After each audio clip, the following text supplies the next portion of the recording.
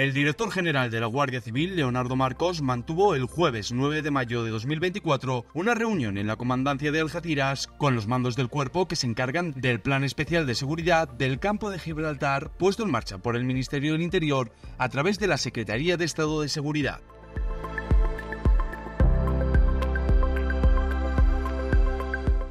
En esta reunión se han analizado los datos así como las últimas operaciones realizadas y las estrategias necesarias para seguir actuando en el ámbito del narcotráfico.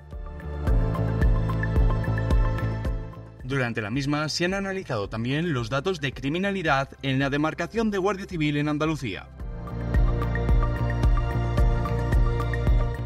Leonardo Marcos ha visitado también las instalaciones de la Guardia Civil en el puerto de Algeciras, en las que se encuentran el Servicio Marítimo, el Cinológico y el CEAS.